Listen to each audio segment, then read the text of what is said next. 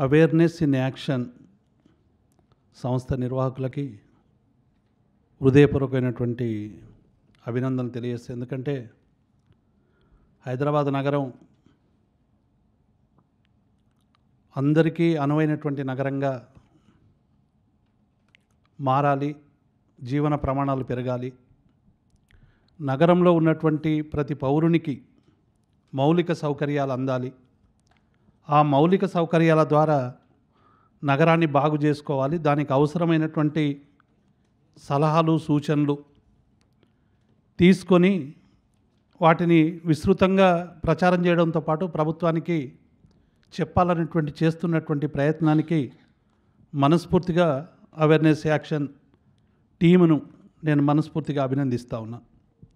అట్లాగే పెద్దలు జాఫ్రీ గారు అలాగే పెద్దలు గౌరవనీయులు మిత్రులు బీజేపీ శాసనసభాపక్ష నాయకులు కిషన్ రెడ్డి గారు సభాధ్యక్షత వహిస్తున్నటువంటి మిత్రులు గౌరవనీయులు టంకసాల అశోక్ గారు ఇందులో పాల్గొంటున్నటువంటి మిత్రులకు అందరికీ పేరు పేరున హృదయపూర్వకమైనటువంటి నమస్కారాలు తెలియజేస్తూ చాలా విషయాలు జాఫ్రీ గారు కిషన్ రెడ్డి గారు అనేక విషయాలు ప్రస్తావించారు.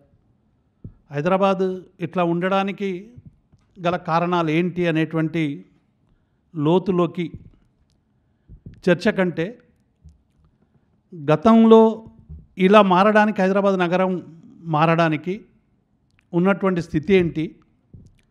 ఆ స్థితి నుండి ఇప్పుడు అధిగమించి హైదరాబాద్ నగరాన్ని ఎట్లా బాగు చేసుకోవాలనేటువంటి దాని మీద అనేక సూచనలు ఇద్దరు కూడా చేయడం జరిగింది. ప్రధానంగా ఇందులో రెండు మూడు అంశాలు ప్రధానం.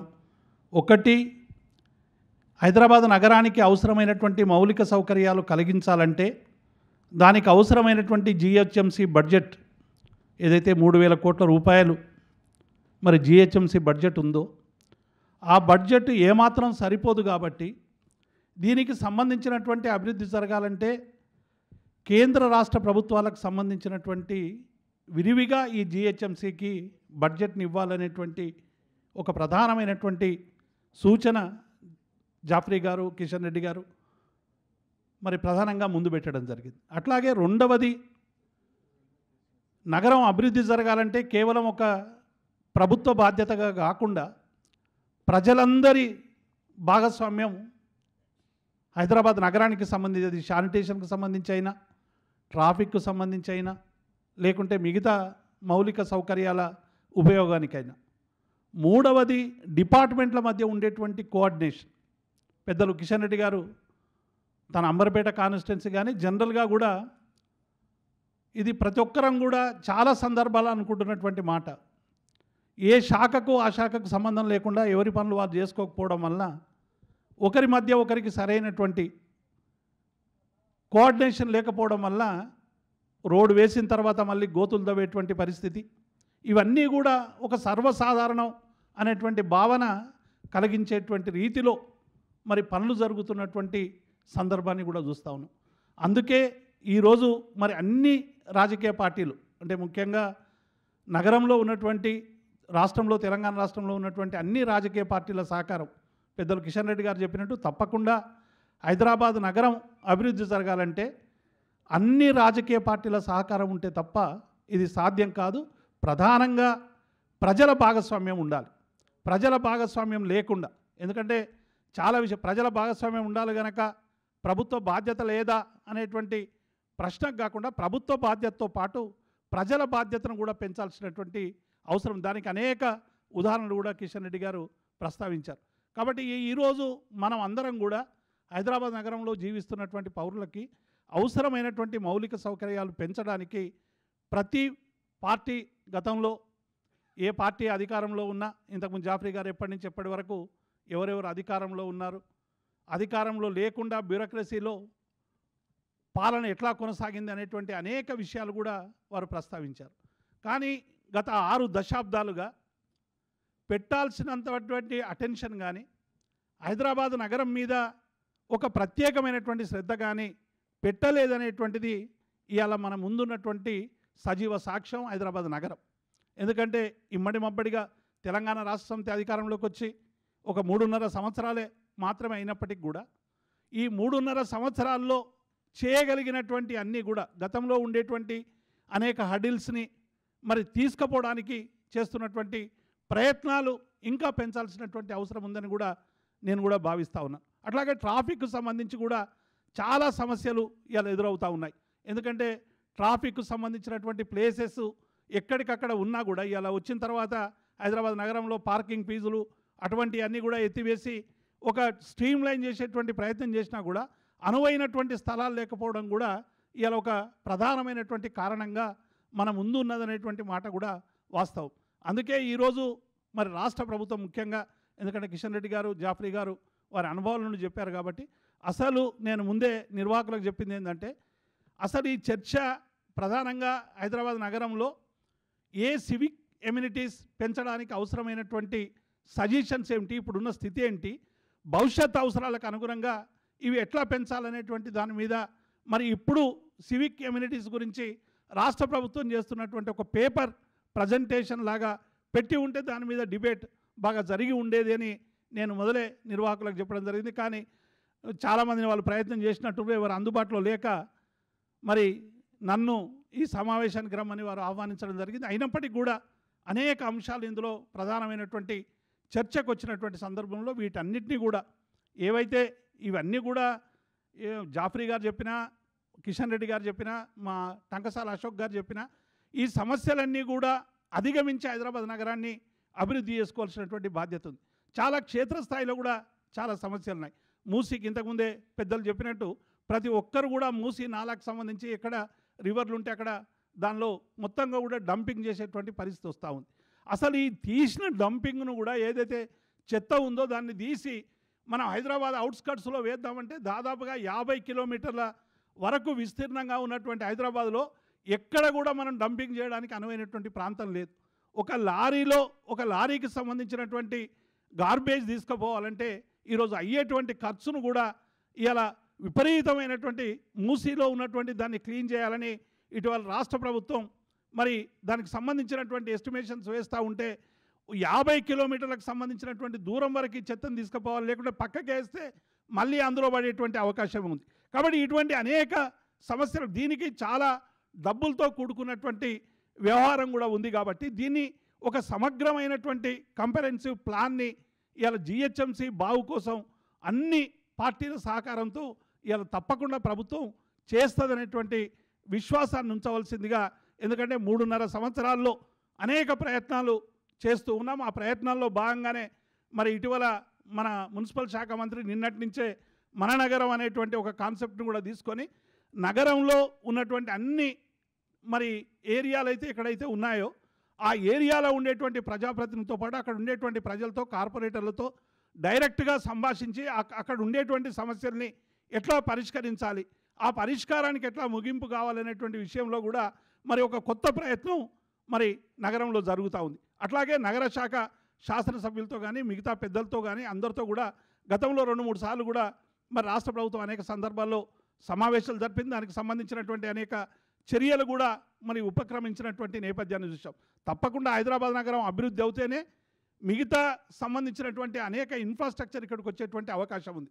ఇలా తప్పకుండా ప్రపంచంలోనే హైదరాబాద్ నగరం అనేటువంటిది ఒక అనువైనటువంటి ప్రాంతంగా ఇలా అందరూ కూడా భావిస్తున్నటువంటి సందర్భాన్ని కూడా చూస్తూ ఉన్నాం. కోటి జనాభా ఏదైతే గతంలో మరి జనాభా అరవై లక్షలకు యాభై లక్షలకి డిజైన్ చేసినటువంటి ఇలా డ్రైన్స్ అన్నీ కూడా మళ్ళీ మనం ఇలా మళ్ళీ కొత్తగా డిజైన్ చేయాల్సినటువంటి అవసరం ఉంది.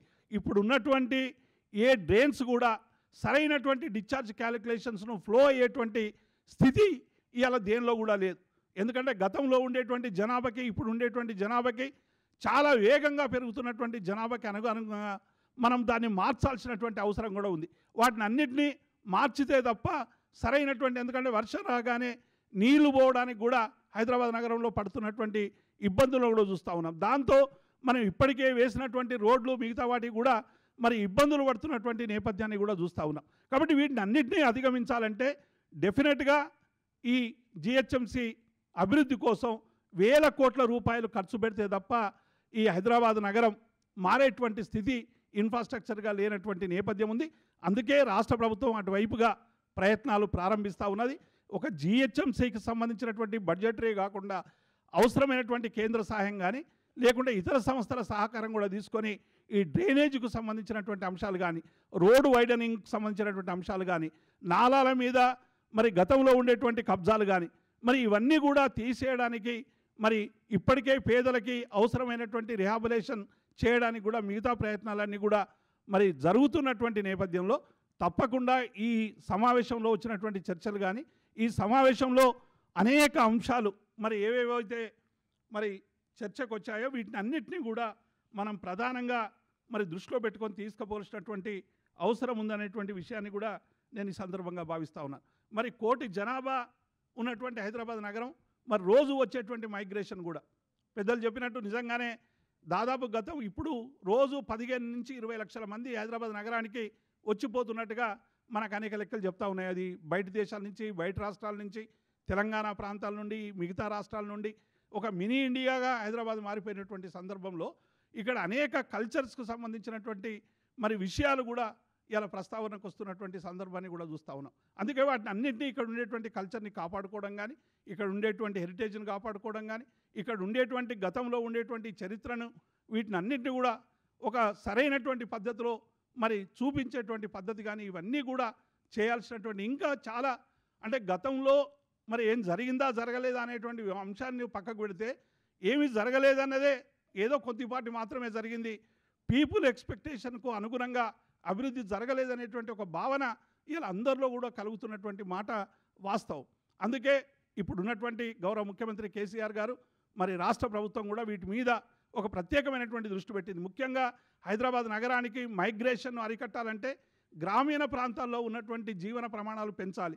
రైతులకు అవసరమైనటువంటి మరి నీళ్ళు రైతాంగానికి అవసరమైనటువంటి నీళ్ళు ఇవ్వాలనేటువంటి తపనతో ఇలా ప్రాజెక్టుల నిర్మాణం కానీ అట్లాగే గా చెరువులకు సంబంధించినటువంటి కాకతీయ మిషన్ ద్వారా చెరువులకు స్టోర్ చేసుకునేటువంటి అంశం కానీ గ్రామీణ ప్రాంతాల్లో ఉన్నటువంటి రైతాంగానికి అవసరమైనటువంటి చేయుతనివ్వేటువంటి సమస్యలు కానీ ఇవన్నీ కూడా ఒక పరిష్కరించగలిగితే నాణ్యమైనటువంటి విద్యుత్తును మరి ఇవ్వగలిగితే నిరంతరంగా విద్యుత్ ఇవ్వగలిగితే రైతులకి అవసరమైనటువంటి సహకారం అందించగలిగితే గ్రామీణ ప్రాంతాల్లోనే రైతు ఉండేటువంటి పద్ధతికి ఒక పోతే తప్ప ఈ మైగ్రేషన్ని మనం పెద్దగా నివారించలేనటువంటి అంశం. ఉపాధి దొరకకపోతే అందరూ కూడా హైదరాబాద్ నగరానికి వచ్చేటువంటి అవకాశం ఉంటుంది కాబట్టి ఇది ఒక మల్టిపుల్ డైమెన్షన్స్తో హైదరాబాద్ నగరానికి సంబంధించినటువంటి మైగ్రేషన్ అరికట్టాలంటే రకరకాలుగా ఆ చర్యలు కూడా ఇప్పటికే రాష్ట్ర ప్రభుత్వం అనేకంగా ప్రారంభిస్తున్నటువంటి స్థితి కూడా మీరు చూస్తూ ఉన్నారు. కాబట్టి వీటికి అన్నిటికీ సంబంధించి మరి హైదరాబాద్ నగరానికి మరి ఎందుకంటే కోటి జనాభా అంటే తెలంగాణలో దాదాపు వన్ ఫోర్త్ జనాభా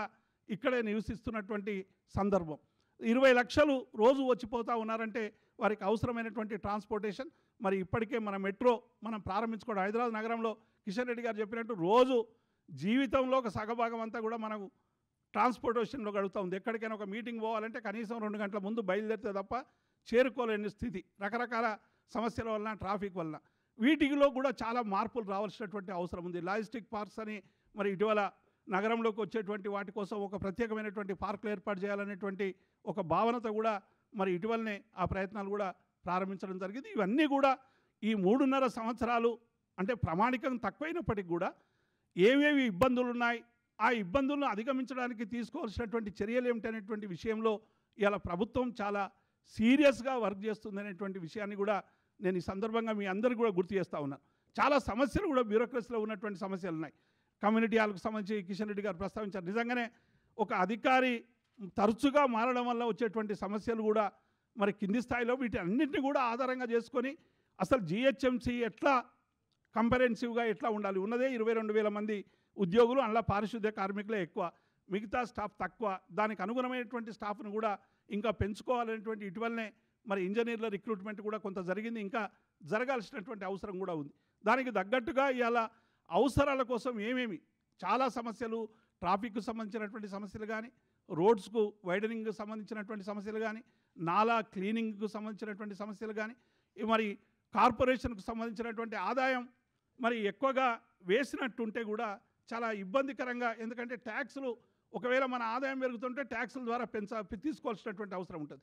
కాబట్టి ట్యాక్స్ పెంచడం అనేటువంటి దానికి పోతే ప్రజల్లో నుండి వచ్చేటువంటి వ్యతిరేకతను కూడా మరి దృష్టిలో పెట్టుకొని ఇవన్నీ కూడా ఒక కంపరెన్సివ్గా చేయాల్సినటువంటి అవసరం ఉంది. తప్పకుండా వాటి వైపు మరి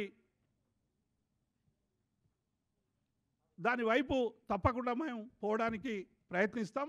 ఇందులో వచ్చినటువంటి అన్ని సూచనలు కూడా దాదాపుగా అందరం ముగ్గురం రాజకీయ పార్టీలు విడివిడిగా అయినా కూడా భావిస్తున్నదంతా కూడా ఒకటే. హైదరాబాద్ నగరం అభివృద్ధి చెందాలంటే ప్రజల సహకారం చాలా అవసరం.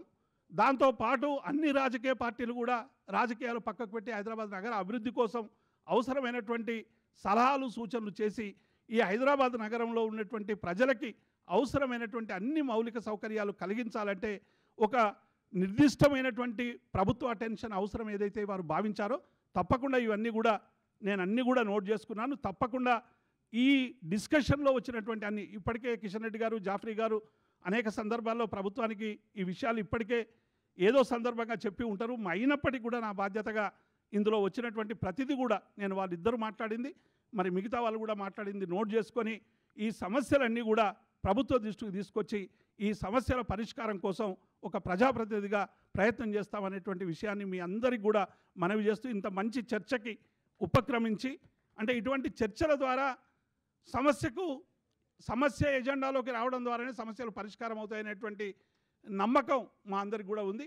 ఎందుకంటే ప్రతిదీ అంశాన్ని చర్చించడం వల్ల అది పబ్లిక్ డిబేట్ కావడం వల్ల పబ్లిక్ దగ్గరికి తీసుకుపోవడం వల్ల ఆ సమస్యకు ఒక సొల్యూషన్ తప్పకుండా వస్తుందనేటువంటి విశ్వాసాన్ని వ్యక్తపరుస్తూ ప్రత్యేకంగా అవేర్నెస్ ఇన్ యాక్షన్కి మనస్ఫూర్తిగా అభినందిస్తూ థ్యాంక్ యూ. జై తెలంగాణ.